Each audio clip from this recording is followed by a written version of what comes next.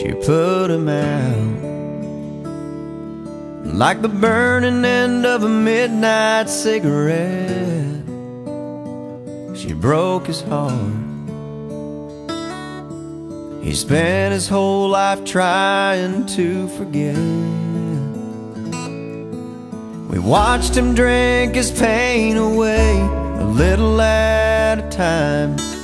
But he never could get drunk enough to get her off his mind until the night he put that bottle to his head and pulled the trigger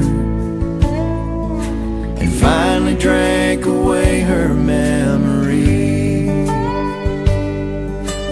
Life is short, but this time it was bigger than the strength he had to get up off his knees.